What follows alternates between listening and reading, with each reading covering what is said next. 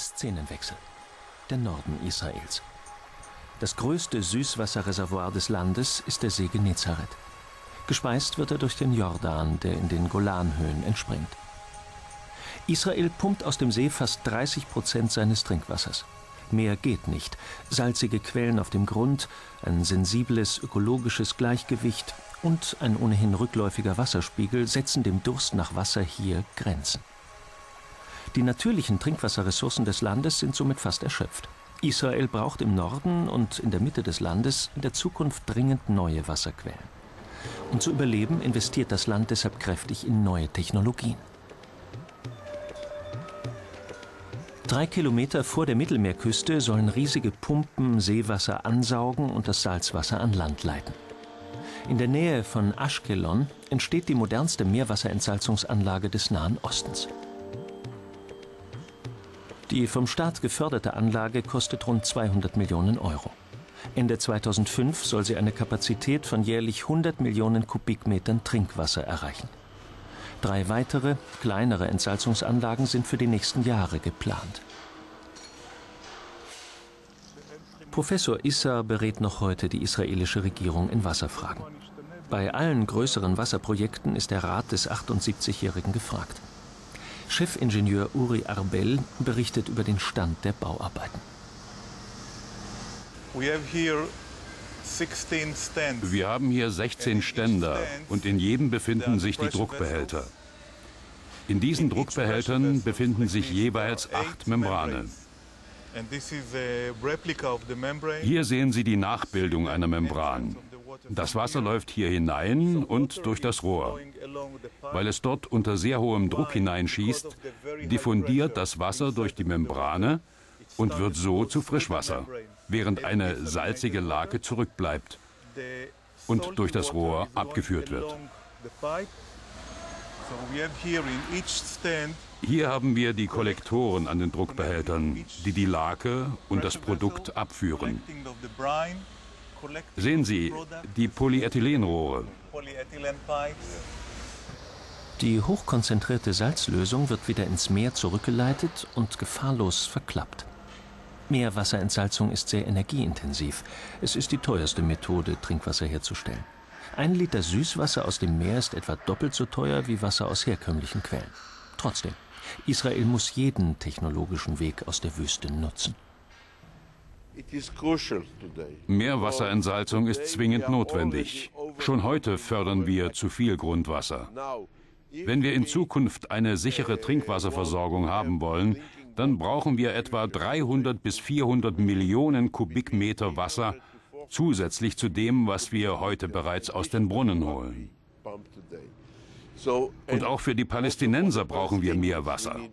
An Meerwasserentsalzung kommen wir deshalb nicht vorbei. In dieser Anlage werden wir etwa 100 Millionen Kubikmeter entsalzen. Doch in der nächsten Zukunft brauchen wir noch einmal 200 bis 300 Millionen Kubikmeter pro Jahr. Wir sind schon ein wenig zu spät. In den letzten Jahrzehnten ist zur Trink- und Nutzwasserversorgung ein weit verzweigtes Pipeline- und Kanalsystem gebaut worden. Es reicht vom See Genezareth im Norden Israels bis an die Küste des Roten Meeres bei Elat im Süden. Damit kann auch der trockenste Landesteil im Süden mit Wasser versorgt werden. Die Meerwasserentsalzungsanlage liegt nur fünf Kilometer vom Gazastreifen entfernt, wo 1,5 Millionen Palästinenser auf engstem Raum leben. In Gaza wird ausschließlich Grundwasser zur Wasserversorgung eingesetzt. Und dort sinkt der Grundwasserspiegel rapide. UN-Wissenschaftler gehen davon aus, dass die Trinkwasserquellen in Gaza innerhalb der nächsten 15 Jahre versalzen werden.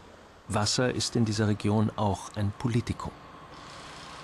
Es gibt Pläne, die jährliche Kapazität der Ashkelon-Anlage um 5 Millionen Kubikmeter Trinkwasser für den Gazastreifen zu erhöhen. Doch seit der Intifada liegen diese Pläne auf Eis. Die Baustelle wird immer wieder von palästinensischen Raketen beschossen.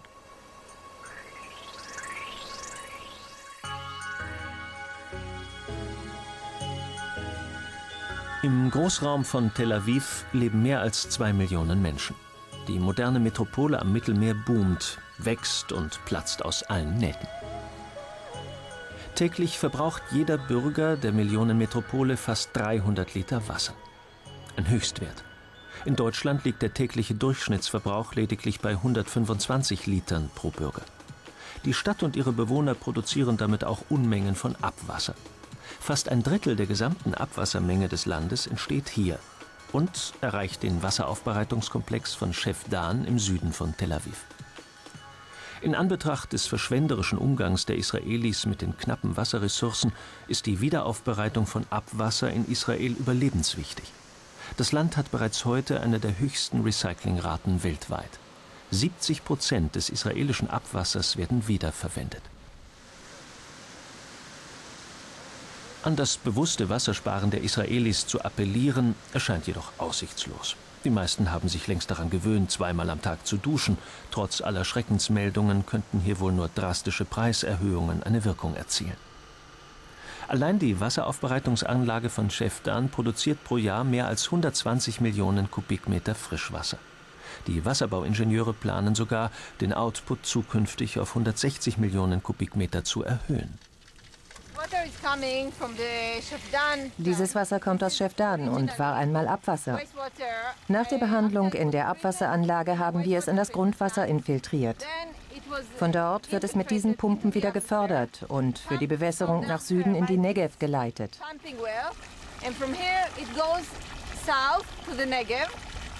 Mit diesem Wasser können wir alle möglichen Feldfrüchte bewässern. Sehen Sie, ich kann es anfassen. Es hat keine wie auch immer geartete Belastung has no contamination whatsoever.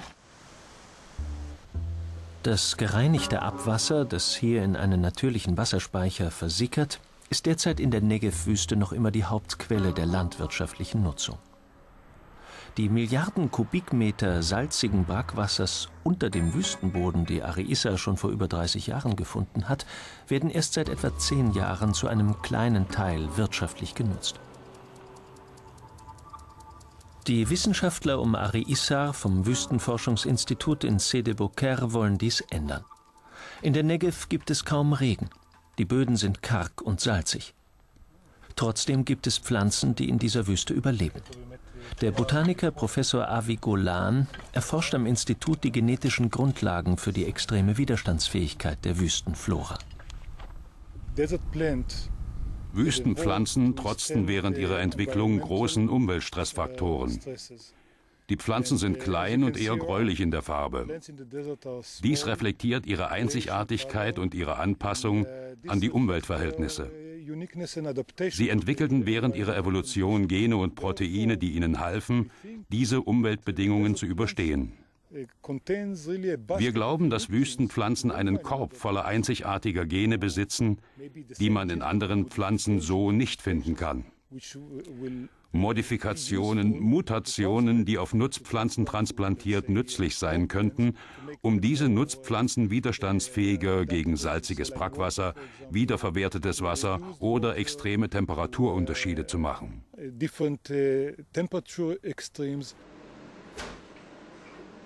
Im Labor versuchen die Wissenschaftler, die genetischen Vorteile von Wüstenpflanzen auf Nutzpflanzen zu übertragen. Mithilfe der Gentechnik wollen die Forscher die Vision Ben Gurions vom Erblühen der Wüste Wirklichkeit werden lassen. Denn dieser alte Traum ist heute aktueller denn je.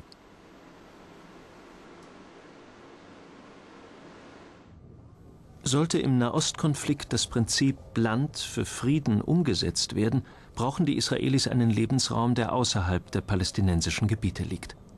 Die Menschen sollen in der Wüste siedeln.